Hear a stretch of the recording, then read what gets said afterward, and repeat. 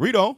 Usually, however, slaves sat in the gallery of the white churches, identified with the faith of their owners. Hold on. Slaves do what?